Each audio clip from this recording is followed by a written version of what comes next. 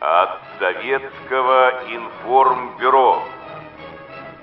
В ходе боев за подступы к Вене и за город Вену с 16 марта по 13 апреля войска фронта разгромили 11 танковых дивизий немцев.